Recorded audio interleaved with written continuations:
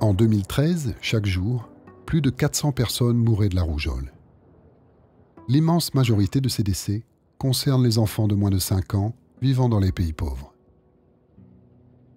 Les systèmes de soins y sont peu développés, pas assez d'hôpitaux, trop éloignés, mal équipés. En 2013, la République démocratique du Congo, le Nigeria et la Chine sont les trois pays les plus touchés par la maladie.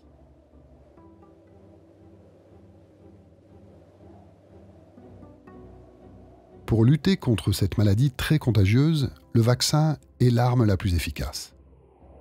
Toujours en 2013, 84% des enfants dans le monde ont été vaccinés. Ce pourcentage est encore plus élevé en Europe, sur le continent américain ou dans le Pacifique. En Afrique et en Asie du Sud-Est, par contre, moins de 80% des enfants sont immunisés contre la rougeole.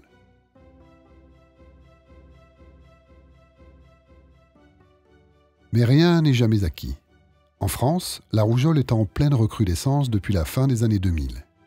En 2011, la France connaît même une véritable épidémie avec 15 000 cas déclarés. On soupçonne qu'un relâchement dans les efforts de vaccination en est le responsable.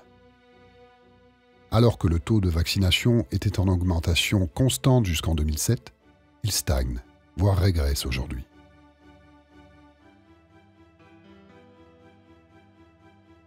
Toutefois, depuis les années 2000, les campagnes de vaccination dans le monde se sont intensifiées, notamment à travers le Plan d'action mondial pour les vaccins de l'Organisation mondiale de la santé.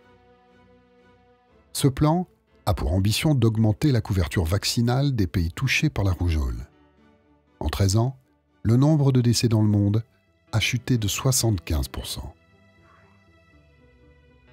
Mais si les progrès dans le monde sont nets, la couverture a stagné dans certains pays d'Afrique où depuis 2009, on assiste à de véritables flambées épidémiques.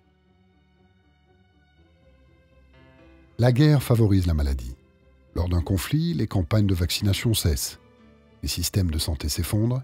Les populations civiles fuient les combats. Cocktail idéal pour déclencher des épidémies de toutes sortes. En 2011, en Syrie, où la rougeole était presque éliminée, la guerre civile a provoqué en moins de deux ans une épidémie de 7000 malades.